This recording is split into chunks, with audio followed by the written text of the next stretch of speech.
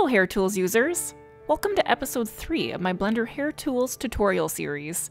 Today, I'll walk you through the process of creating a simple game-ready hairstyle using one of the default hair grids that come with the Hair Tools add-on.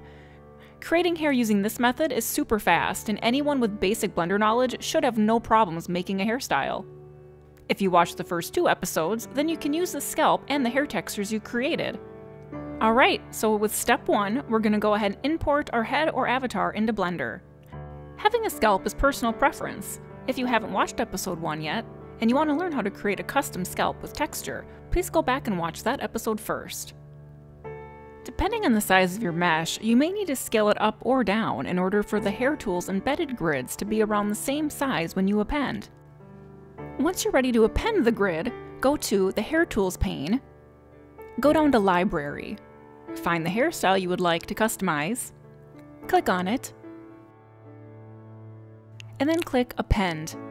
Before clicking off of it, right-click anywhere to go to Move to Collection, New Collection, and name it Appended Grid. Remove the curves, as we will only be using the grid. Now, go into Side View and move and scale the grid so it lines up with your head.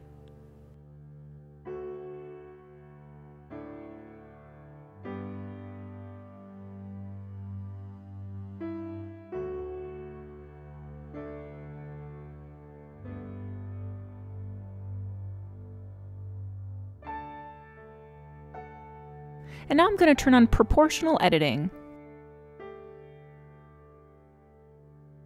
Now I'm just going to move the vertices around until they get closer to the scalp. You can adjust the proportional editing strength by using the scroll wheel on your mouse.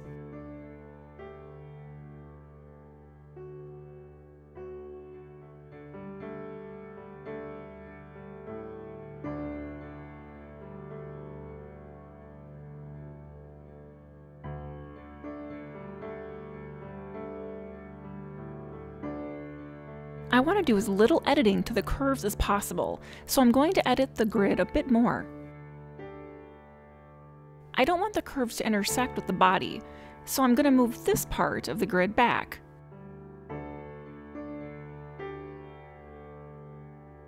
Here, I go into X-ray mode so I can see my vertices that are hidden under my mesh. Now I'm going to go ahead and move this part forward so it's not intersecting.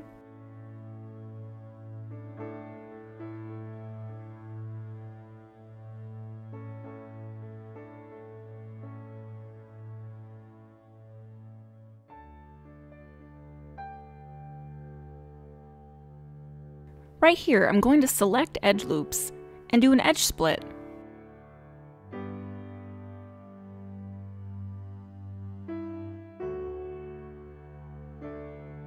So now I can move these vertices back. Make sure your proportional editing is set to connected only.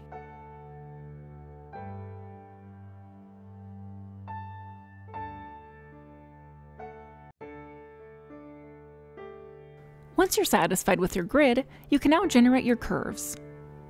In the Hair Tool pane, go to the Hair Operators. Now, click on Curves from Grid Surface. We can make adjustments over here. If this disappears at any time, you can get it back by hitting Ctrl-Shift-H, Curves from Grid Surface.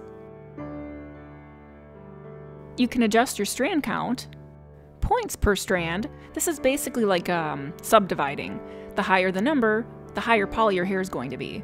The lower the number, the lower poly. Offset to tip and offset to root. So what this means is if you choose offset to tip, more vertices are going to be towards the tip of the hair, giving it more subdivisions in that area. If uh, you use offset to root, you're going to get more subdivisions in the root. Sometimes that's actually extremely helpful. When it comes to the next settings, clumps, randomize spacing, randomize length, and contrast and offset, and the noise settings, noise amplitude, I actually don't use these settings, so I'm not going to go over them in this tutorial. I normally set my snap amount to, to 1.00%, offset 0. We want to make sure that generate ribbons is true, when it comes to your strand width, this is really going to depend on how big your mesh is. The bigger the mesh, The larger the strand width will need to be. You can play with these settings until you get your desired result. I'm sticking with 0.30, and make sure that align tilt is also true. Once you're satisfied with the settings, you can hide your grid, and now we can add our own hair textures by doing the following. In Object Mode, click on your hair layer. Now, go into the Shading section. Hit Tab to edit the hair perimeters. Alright, we can delete the color ramp and comment box. Now, you're going to drag in your custom hair diffuse and opacity map.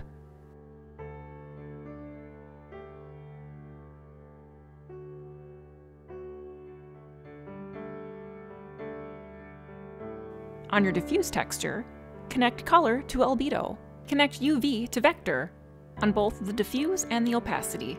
On your opacity texture, connect the color to the alpha if you're using a PNG diffuse that has an alpha channel, you'll connect the color to the albedo and the alpha to the alpha.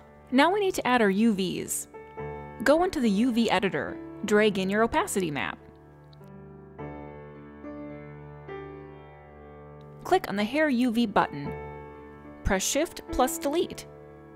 Now you can outline your hair by starting at the left and working your way to the right. Be sure no strands go outside the UV box.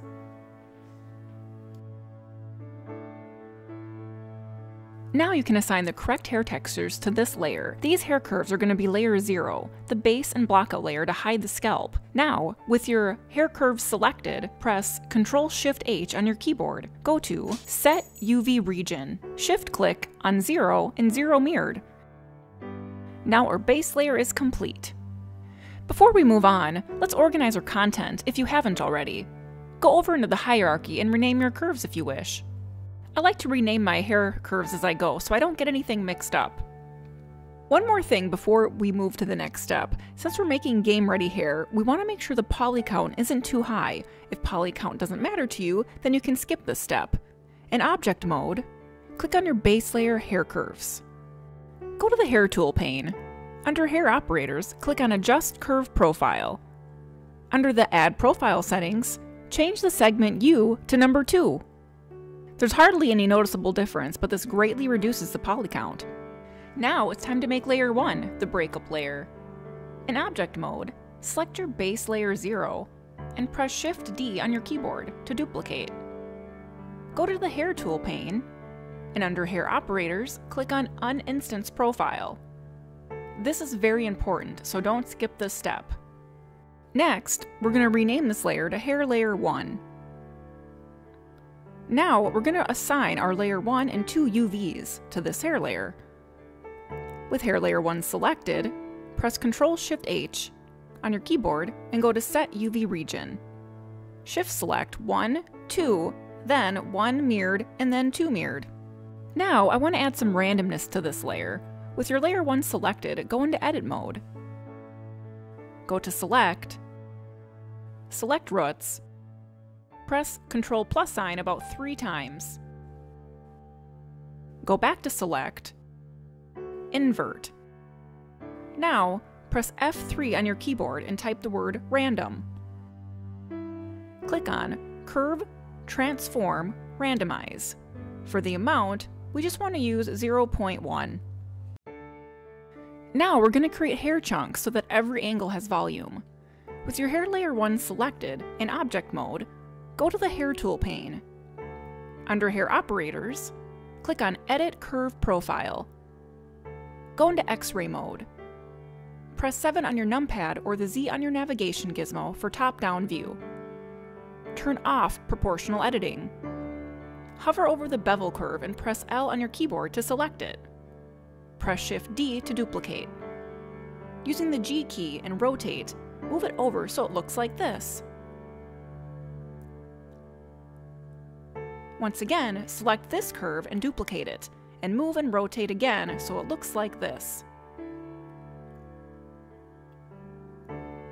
Now, with your lasso tool selected, highlight all the curves, and with your G key, move them so the cursor is right in the middle of them. Now go back to the Hair tool pane and click on Close Curve Profile. Click back on your mesh, and click on the period key on your numpad to zoom in on it. Now, change your viewport shading to solid, and under the viewport shading options, set color to random. Now, with your hair layer 1 selected, go into edit mode. Now we need to move layer 1 away from layer 0 to stop the intersecting. Since layer 1 is a different color than layer 0, this will help us see the overlap.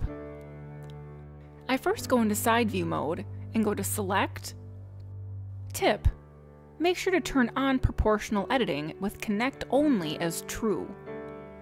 We want to deselect the front vertices by using our lasso select and holding control while we select them.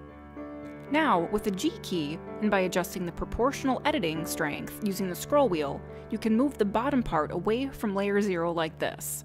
We don't want to move it too far away, just enough so that it's not intersecting. Now I'm going to do the same thing with the front part of the hair.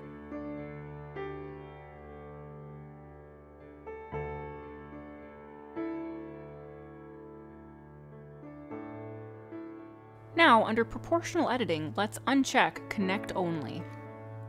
I'm going to go up towards the top a bit and move the hair away slightly. Be careful not to move the roots too much, otherwise they will float above the head.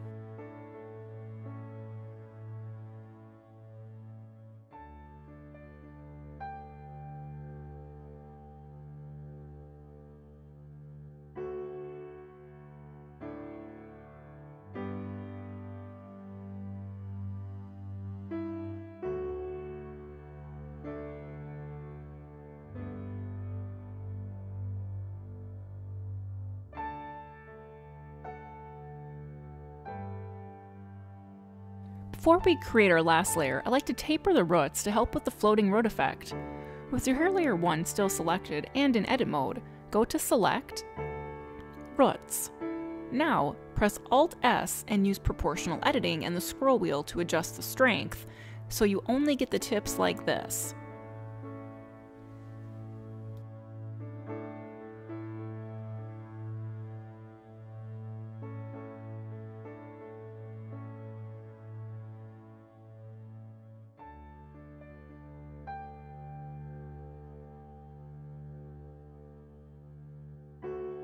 Okay, now it's time to make your last layer. These will be the flyaway layers. In object mode, select layer 1 and press Shift D to duplicate it. Make sure you uninstance the profile. Now we are going to add some randomness again. In edit mode, select the roots. Press Ctrl plus sign about two times. Now go to select, invert. F3 to add some more randomness, set the amount to 0.2. Now we're going to move the vertices away from hair layer 1 just like we did before. Since we added a bit more randomness, some of the hairs may be intersecting more than others. We can turn Connect Only on under Proportional Editing, and then move the strands away separately. You can turn Proportional Editing back on, and make final adjustments later, until you get the result you're looking for. I'm going to speed through this part. Just move the hair around until it's not intersecting with layer 1. I go back and forth between connected only, on and off. I also end up hiding sections of the hair to make it easier to see what I'm doing. To do that, just select the vertices you want to hide and press H. To unhide them, press Alt-H. You can spend as much time here as you want, just make sure you have as few intersections as possible.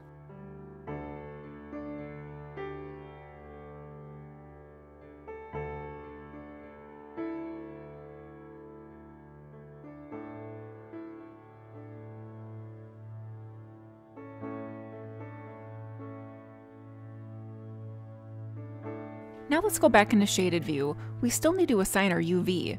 We also forgot to rename the layer. Let's do that now so we don't get mixed up. I'll name this Flyaways. Now, in object mode, with the flyaway layer selected, press Ctrl Shift H and assign UV region. Let's pick 3 and 3 mirrored.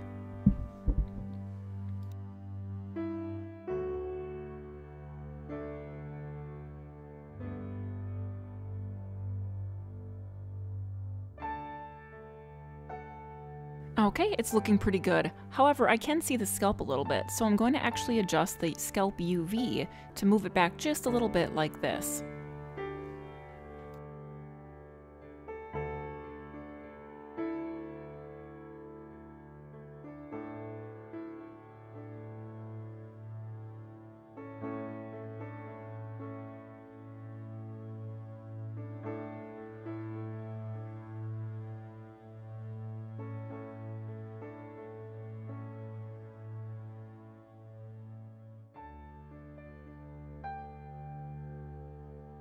Okay, I think it's done. You can spend more time on it, of course.